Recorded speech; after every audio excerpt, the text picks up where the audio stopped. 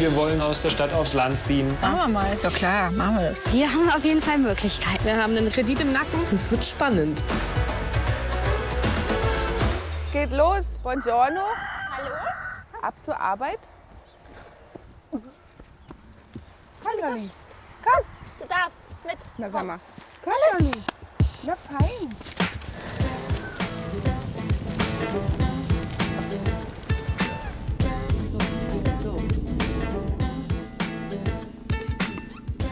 Hier sind die zwei aus dem Oderbuch. Hanna und Anne. Wir haben zusammen Pläne geschmiedet, was man machen kann. Ja, dann hatten wir eine tolle Idee. Dann wollten wir einen Café eröffnen. Ich spiele jetzt mal den Tresen und Anne ist die. die Aber der Tresen geht um die, Ecke. ja, so.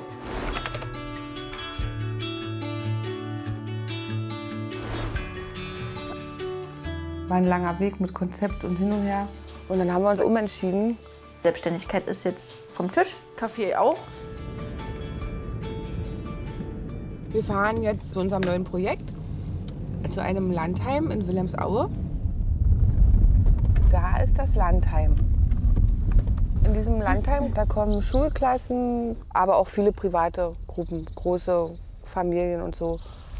Wir haben Ja gesagt und wussten gar nicht so richtig, wozu genau. Und ich glaube, da kommt noch Überraschungen. Ich glaube, überzeugt hat uns, es war die Nähe von, also nach Hause, also Ja, das und dass Regionale. wir und, einfach angestellt sind. und dass man angestellt ist. Ja, und dann haben wir gedacht, okay, Versuchen wir mal. machen wir mal. Ja klar, machen wir. Ja. Maxi, Lali, komm. Einen wunderschönen guten Morgen, die Damen. Willkommen im Club der Nachfolgerinnen. Hallo, meine Sonnen. Mm. So, Äh, hier draußen im Flur. Ich würde euch vorschlagen, hängt mal für den Ernstfall auch mit der Telefonnummer, wo ihr zu erreichen seid, wenn ihr jetzt das Zepter schwingt. Noch hängt da unten meine Nummer drin. Das ist das Erste, was wir machen, unsere Ja. Parteientscheidung. Genau. Soll das jetzt heißen, Bernd, ja? Also bisher gab es hier immer nur einen Geschäftsführer. Und jetzt äh, haben wir ja zusammen das Ding hier am Hacken und teilen uns quasi diese Bezeichnung. Also wir sind gleichberechtigte Geschäftsführer, Ja. aber das klingt fast arrogant, wenn man so sagt. Na, du ne? hast gesagt Mädchen für alles. Finde ich Ja, eigentlich ganz gut. Wir sind Putzfrau, Koch, Bürotante. spannend, was du machen wir jetzt kurz mal einen Überblick über das ganze Haus hier. Gott, hier verläuft man sich ja gleich. Hier riecht richtig nach Ferienlager. Wonach riecht's? Nach Ferienlager. Nach Ferienlager. Ich freue mich, weil von uns alten, ich sag mal jetzt Anführungszeichen Säcken oder was auch immer, da ist so ein bisschen die Luft raus. Fast 30 Jahre gibt es die Institution und es ist ein Schatz, den man hier eigentlich pflegen muss. Ja?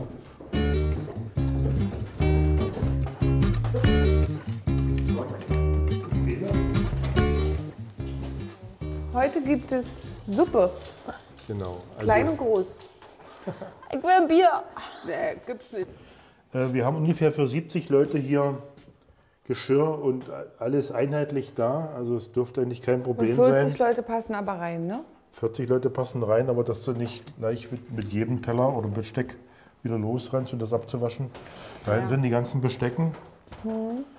Also möglichst auch mal darauf achten, dass es nicht zu sehr reingeschmissen aussieht. Also Optik, die Optik muss so ein bisschen stimmen, ja. Ja, der macht es müssen wir der noch macht es einfach wirklich gut. Da müssen wir uns viel abgucken. ne? Ist nicht ganz einfach, wenn jemand was ganz lange gemacht hat, weil er schwer loslassen kann und natürlich auch alles besser weiß. Zu Recht. Er macht seine Salate immer mit Apfelsaft. Na Ja. gut, gucken wir mal, ob meiner trotzdem Schmeckt. schmeckt.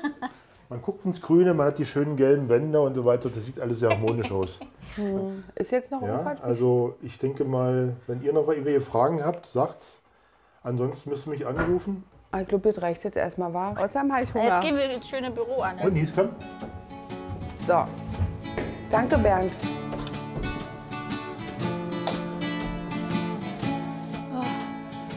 Ja, da. Können wir vielleicht mal ein bisschen aufräumen? Oh, was ist denn das hier? Hm, Kamasutra, oder was? 54 Bücher? Erotik-Szenen. Duden, das kann man ins. Landheim bringen. Willst du das haben? Nein, danke. Ich habe mit sowas nichts am Hut.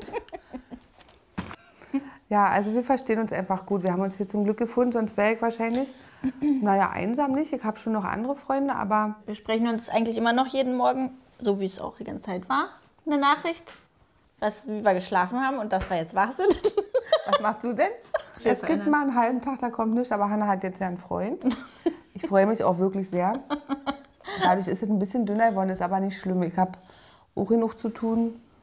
Kann ich, naja, ich finde Doch, jetzt nicht, dass es dünner Das geworden ist. merkst du nicht, weil Nee. du die ganze Zeit am. Ja, du merkst ja auch nicht, wenn du mal Besuch hast und dich nicht meldest und ich dann da sitze und warte. ja. Ja. Naja, ich freue mich auf jeden Fall wirklich für Hanna. ähm, mal gucken, ob der jetzt hier bei uns auch mal irgendwann mitmacht. Hausmeister wird, meinst du? Aber so handwerklich ist er nicht, ne? Hm, doch. Ja? Okay. So, und jetzt unser erster Arbeitstag und wir wissen gar nicht, was wir machen sollen. Na, jetzt noch ein letztes Mal. Dieser Stein, willst du den wirklich so lassen, ja? Na, klopf's ab. Danke. Unbedingt willst.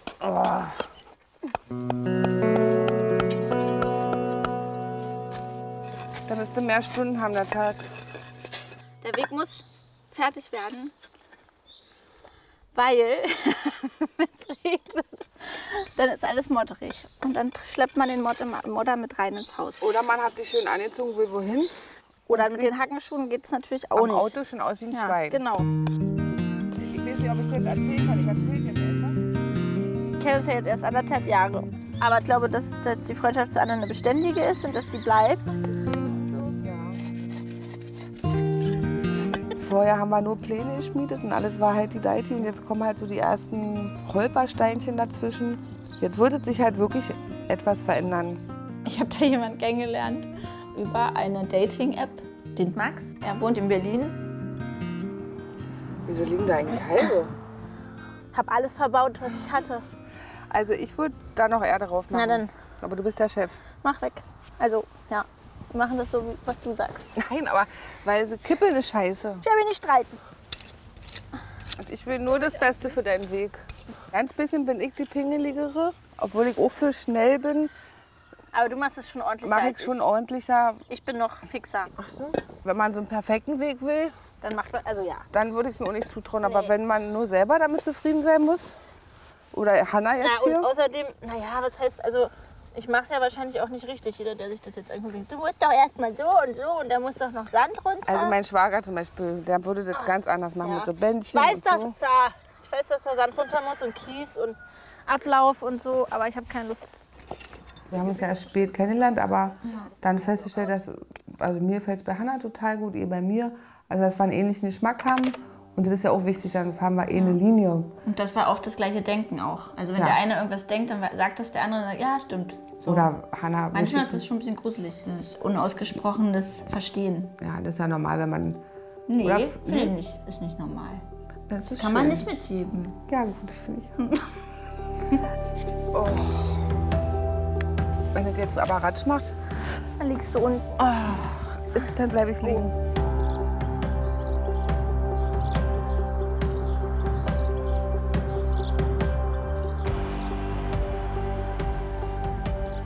Berlin fehlt mir nicht. Als ich hier angekommen bin, habe ich mich von Anfang an wohl, wohl gefühlt, aber erst mit Hanna ähm, hat es sich hier so richtig gut angefühlt, so wie ankommen. Deshalb bist du quasi mein wichtigster Bezugspunkt.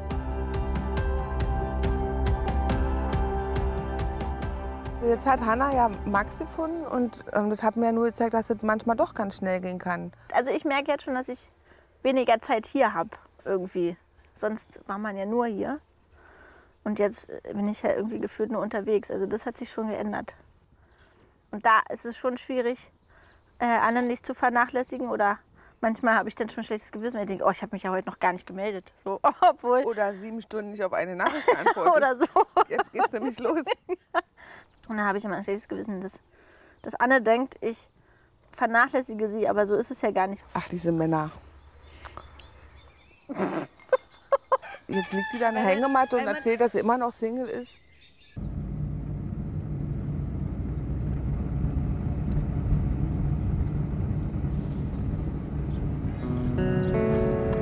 Oh, wie immer nicht angeschnallt, weil hier hält mich nämlich immer der Herr Ewald an, der Dorfpolizist.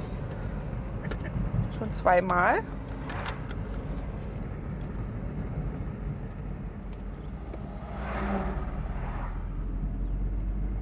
Also ich bin jetzt ausgestiegen aus dem Landheim. Wir haben heute so eine, ein Mitarbeitertreffen, also so eine Art Versammlung. Und da wollen wir die darüber in Kenntnis setzen, dass ich jetzt nicht mehr da bin.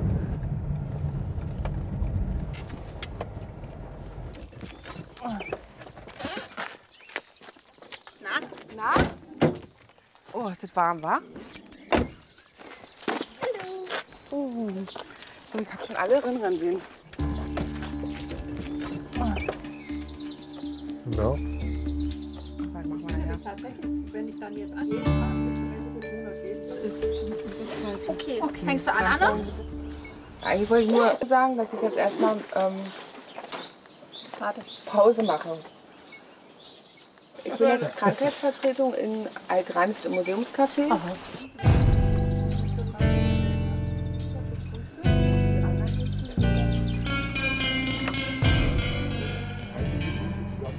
Hanna hat mir im Büro morgens erzählt, ach übrigens, da ist die Sarah, die braucht eine Vertretung, war da jetzt nicht so Feuer und Flamme. Aber dann doch. Und dann habe ich es mir angeguckt, na klar, weil das ist genau das, was wir eigentlich vorher vorhatten. Dann hat Hanna uns drei Monate auf dem Hals. Ganz alleine. Ich habe ja von vornherein gesagt, ja mach doch. Wenn, wenn du das möchtest, dann mach. Aber danach kam halt so, "Ugh, wie soll ich das jetzt alles alleine machen? Und dann dachte ich, aber warum denke ich das denn? Und dann habe ich gedacht, na wahrscheinlich, weil wir immer alles zu zweit gemacht Seit haben. wir uns kennen, machen wir alles zu genau, zweit, seit ja. wir uns kennen, machen wir alles zusammen. Und das war jetzt, jetzt stehe ich alleine in weiter Flur. Ihr brecht eure Pläne aber auch so. Selbst, selbst die lustvollen Sachen lasst ihr alle Na, Anne sausen. muss ja arbeiten. Jetzt. Tja. Selbstgewähltes Elend. Ja, war schon ein kleiner Schock gewesen. Wahrscheinlich muss es so sein. Kann es eigentlich nur noch besser werden. Ja, wenn du am Anfang schon so viele Turbulenzen hast, ja. Ähm, noch ein bisschen mehr Chaos.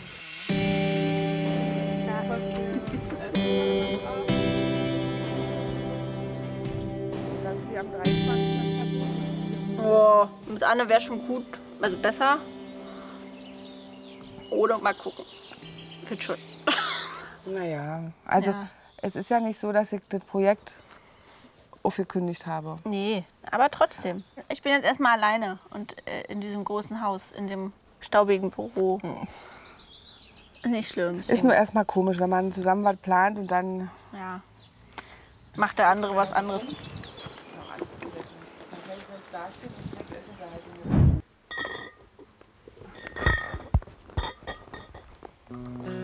Also wir sind hier in äh, Altranft im Oderbruchmuseum im Schloss. Hier gibt es das kleine Café. Eigentlich war ich eine Krankheitsvertretung, aber jetzt gesund werden verzögert sich noch. Die kommt dieses Jahr nicht wieder.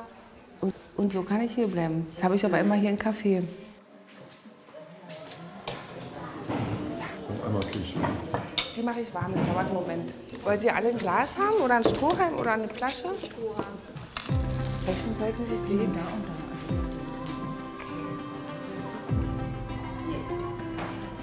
Soll ich ihn stehen lassen?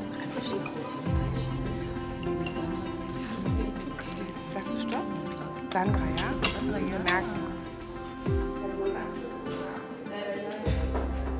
Äh, bisher klappt es ganz gut. Mal gucken. Man soll ja den Tag nicht vor dem Abend loben. Ein paar kommen jetzt auch, weil ich ein bisschen Werbung mache mit Schildern. Ähm, die meisten sind Museumsgäste. Obwohl jetzt auch schon ein paar nur zum Kaffee trinken kommen. Das ist ganz schön.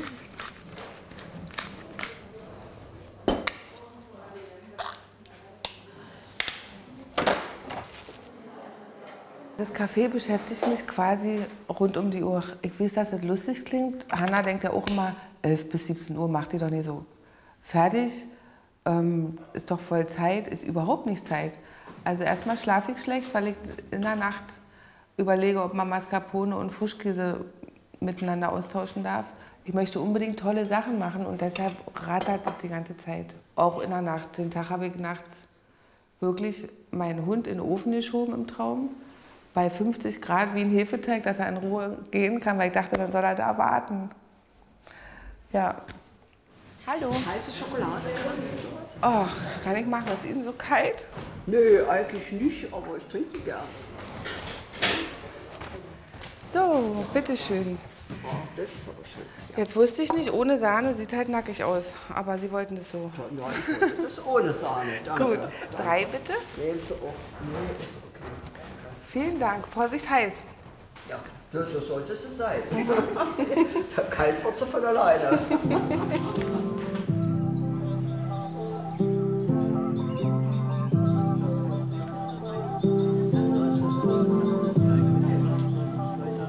Also alle, die kommen und was Neues machen, sind willkommen, muss ich sagen. Wir sind Altrampfer. Ne? Und deswegen ist das schon mal immer erfreulich, wenn hier im Museum was Neues wieder ist und vor allen Dingen, wenn das äh, Gaststätte hier eben weitergeführt wird. Das Brot schmeckt nach Oderbruch. Das schmeckt richtig lecker. Selbst gebacken und bestimmt auch das Getreide hier aus der Umgegend. ist für mich auch ein Stück Heimat und deswegen freut mich auch, wie viele Menschen hierher kommen und irgendwas auf die Beine stellen und äh, wie mutig das auch ist.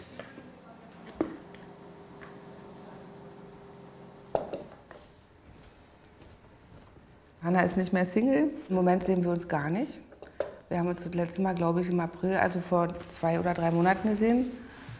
Ähm, wir schicken uns Sprachnachrichten. Das wurde auch ein bisschen weniger, weil irgendwann, da fehlte dazwischen. Da ist jetzt nicht kaputt gegangen, aber na, eigentlich ist es plötzlich abgebrochen.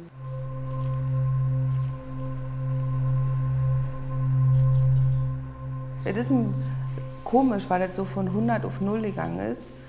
Ich glaube, dass ich ein bisschen trauriger darüber bin, weil Hannah gerade verliebt ist. Da merkt man nicht. Man kann nicht alles in Sprachnachrichten teilen.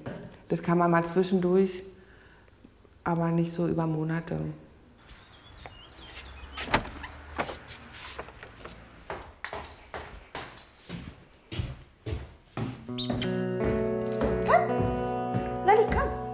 Also als Anne das Café übernommen hat, habe ich alleine das Landheim weitergeführt und dann aber relativ schnell gemerkt, dass ich das alleine nicht will und auch der Job an sich jetzt nicht mich nicht erfüllt. Also Hotellerie nicht meins ist.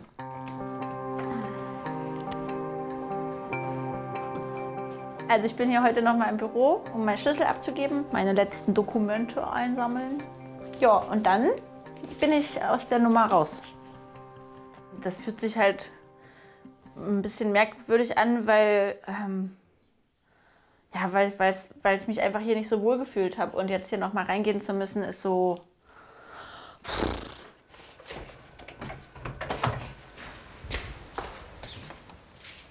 Mir hat es einfach nicht gut getan, diesen Job auszuüben. Ich war jetzt nicht überfordert, aber ich habe halt gemerkt, ich habe gar keine Zeit mehr für irgendwas anderes. Immer nur arbeiten möchte ich nicht. Möchte jetzt auch mit natürlich mit Max und so ähm, eine andere Situation, weil ich äh, dann auch ein bisschen Freizeit mit ihm haben möchte.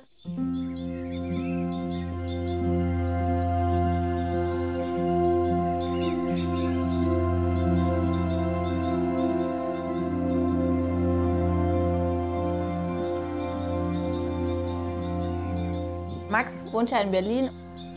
Zurück in die Stadt will ich nicht. Habe ich Max auch gesagt, dass ich da gar keine Ambition habe, komplett umzuziehen oder das Haus zu verkaufen oder so.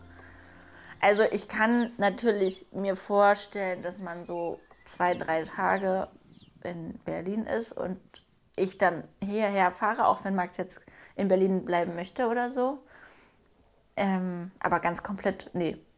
Mm -mm. Da kriegt er mich, glaube ich, auch nicht hin.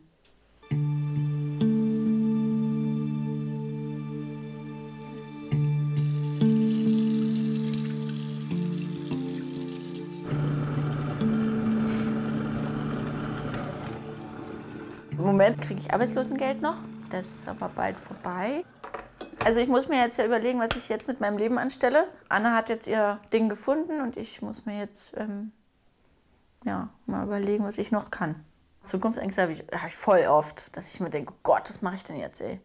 Also manchmal wache ich auf und denke, scheiße, das ist alles richtig kacke. Ich weiß überhaupt nicht, wo es jetzt hingeht und was ich machen soll. Ich brauche Geld. Klar, kann ja sein, dass ich jetzt doch noch ein Kind kriege oder so. Wer weiß. Ja, weiß noch nicht so richtig, wo die Reise hingeht.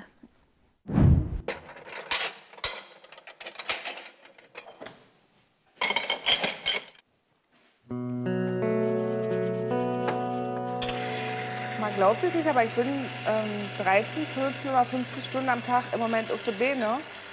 Ich verstehe gar nicht, was ich die ganze Zeit mache. Aber einkaufen, Kisten schleppen, Leergut wegbringen, backen, kochen, einwecken. Alles schöne Sachen, aber viele Sachen. Und ich komme nach Hause, putze meine Zähne und gehe ins Bett.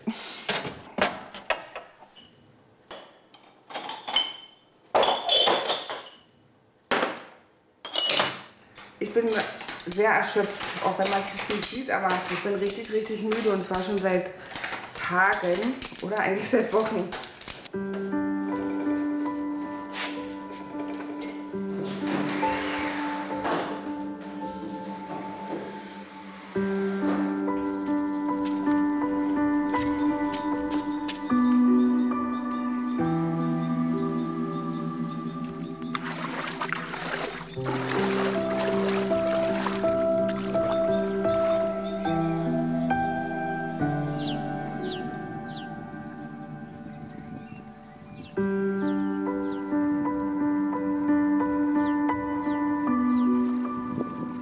Also im Moment haben Hanna und ich wirklich wenig Kontakt.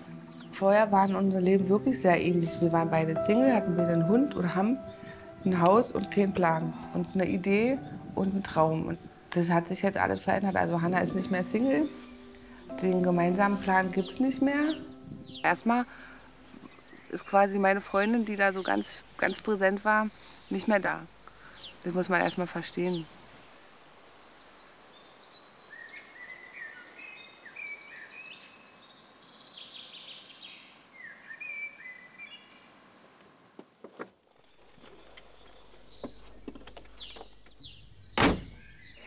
Das Schwierigste im Moment für mich ist eigentlich immer, meinen Hund abzugeben. Mein Hund ist mir sehr wichtig, aber im Moment ist mir das Café auch sehr wichtig und deswegen muss er einfach zu Göran. Ein sehr guter Freund von mir, der so lieb ist, auf meinen Hund aufzupassen.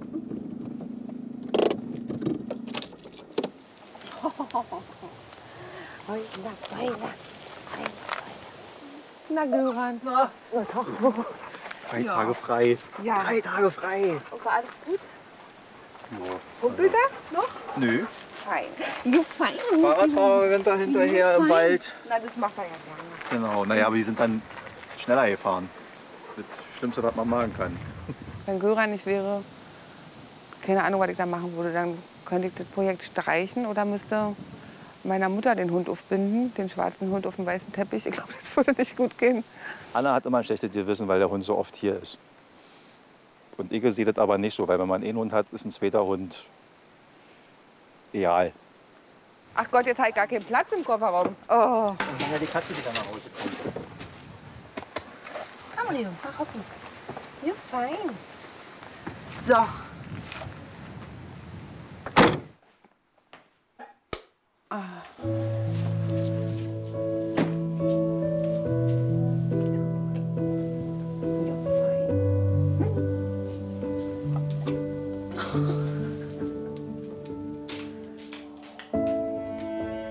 Dass es Max jetzt gibt, ähm, habe ich Hannah von Anfang an gegönnt. Also noch nie war ich deswegen eingeschnappt oder eifersüchtig oder so.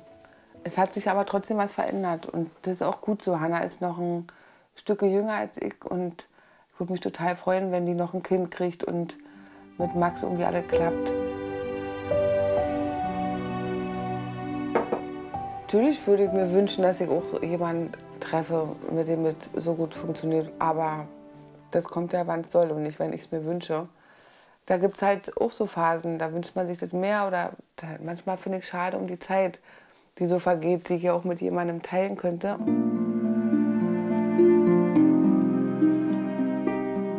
Wenn man mal so guckt, also ich war auch bei so einer App, man kann ja da so einen Umkreis eingeben.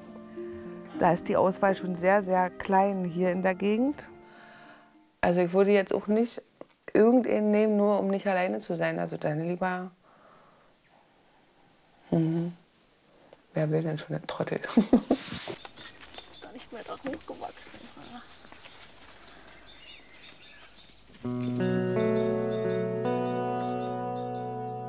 Im Sommer muss man ja immer das essen, was im Garten ist, sonst wird es alles schlecht.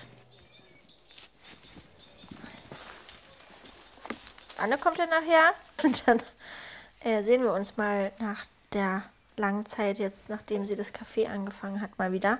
Geplant, weil ungeplant klappt es ja nicht mit dem Treffen.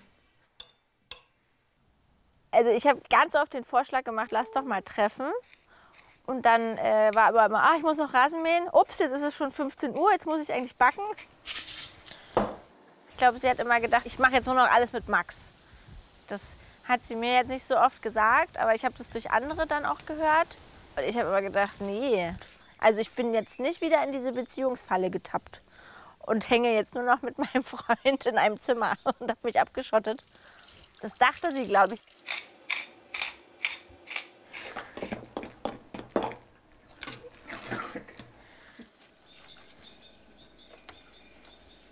Ich möchte ja eigentlich damit zeigen, dass sie immer noch in meinem Leben eine Rolle spielt und dass ich sie nicht vergessen habe, was sie immer denkt oder gefühlt hat und ja, dass das alles eigentlich beim Alten bleibt, ist.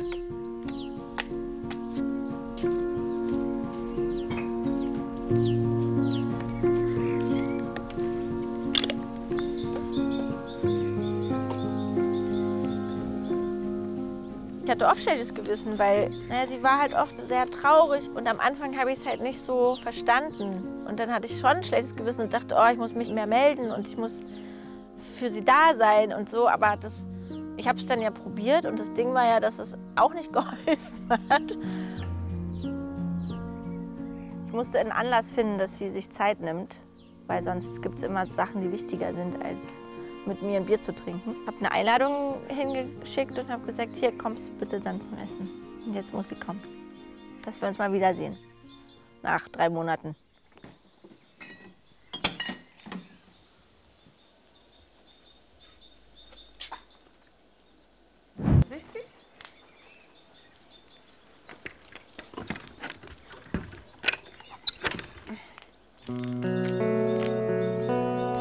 Hier wächst ja schon das Gras zwischen den Backsteinen. Kriegst du wieder raus. Wie lange liegen die denn schon? Noch nicht so lange. Guten Tag.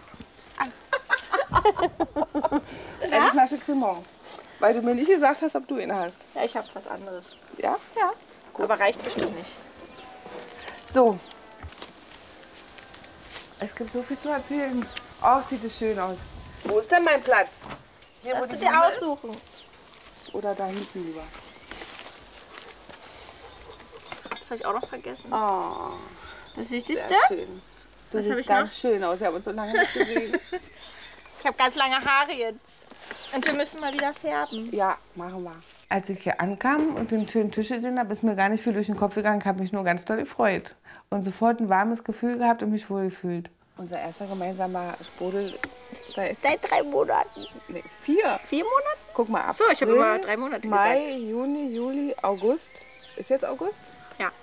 Guck mal, dann sind schon viereinhalb Monate. Krass. Schon sein. Ja, erzähl mal, was gibt's denn Neues? Hm? Die Arbeit macht immer noch großen Spaß. Und da habe ich noch jemanden getroffen. Im Café? nee, im Café. Er war woanders und kam dann aber ins Café. Da wusste er, wo er mich Der findet. Prinz. Der Prinz, ja, sagen wir mal. Heiner, der Prinz. Haben wir doch immer gedacht. Kommt ja, irgendwann. Was ist mit mir los? Ich habe jemanden kennengelernt. Den Heiner, nicht den Heiner von der Vogelweide. Genau, also ein richtig coolen Typ, der mir gut gefällt, den ich aber noch nicht besonders gut kenne. Aber jetzt macht er mir Spaß und ich hoffe, ich ihm auch. Und jetzt werden wir mal weitersehen. Mal gucken, auf jeden Fall. Bis jetzt. Siehst du, da Das ist es ist ganz nämlich cool. passiert. Ja. Dann hast du ja Zeit für den. Naja, so ein bisschen Zeit findet man ja immer und dann muss man ja eh sehen. Weiß man ja nicht. Kann ja sein, dass es sich schon nächste Woche wieder erübrigt. Also doch ein Vollpfosten ist und nicht. Weiß man ja nicht. Aber ich glaube nicht. Mein Gefühl sagt nein und manchmal stimmt ja. Also ich kriege immer relativ schnell, wenn ich nervös bin, rote Ohren. Äh, und das kriege ich. Also ich kriege rote Ohren. Genau. Na, mir gefällt die Situation. Ich hatte sowas ganz, ganz lange nicht. Schon, dass mir mal jemand gefällt oder so. Aber das gerade macht mir sehr viel Spaß. Und ich versuche das nicht zu zerdenken. Ich werde ja sehen, ich habe halt einfach, eigentlich habe ich gar keine Zeit. Aber wenn der Heiner mich ab und zu mal besuchen kommt und ich ihn vielleicht auch mal, dann ähm, wird man ja weiter sehen. Das ist gerade cool, ich lasse es kommen und genieße es einfach. Ja.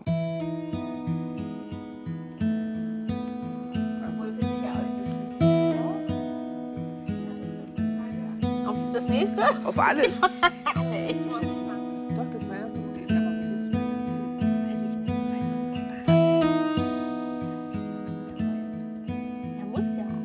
ich freue mich ganz toll, ganz toll für Anne. Äh, ich habe mir das ganz doll gewünscht, dass sie, also ich habe es nicht geglaubt, dass da jetzt in dieser schwierigen Zeit irgendjemand kommt, aber das hat mich sehr überrascht. Aber ich habe mich total gefreut, dass das jetzt so ist. Also auch für mich, weil ich, für mich bricht ja dann auch so ein kleiner Punkt, so, so, eine, so eine Schwere weg, so, ne? dass, dass ich ihr einziger Halt bin. Und dann gibt es da noch jemanden, der vielleicht ihr Halt sein könnte und so. Deswegen, ähm, ja, ich freue mich auch schon, den kennenzulernen. Und ein Vierer-Date. Vielleicht Okay. kriegst du ja auch noch ein Kind. Nee, ich krieg ganz sicher, bitte, bitte. Oh Gott, bitte, bitte. Nee, ich möchte kein Kind. Kommt mir gar nicht in die Tüte. Unsere Freundschaft in den letzten Monaten, die hat vielleicht nicht gelitten. Ich glaube, ich, glaube, ich habe gelitten. Also enttäuscht war ich von Hannah, auf jeden Fall zwischendrin. Aber ich glaube jetzt im Nachhinein, dass das alles meine Müdigkeit war.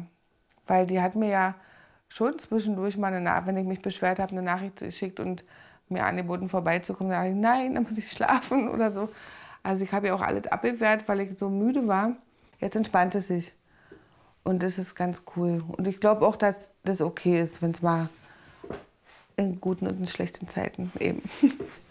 Es war sehr schön, dass du dir die Zeit genommen hast. Na sicher. Für mich auch mal. Nicht nur Hubertus oder wie er heißt. Heiner.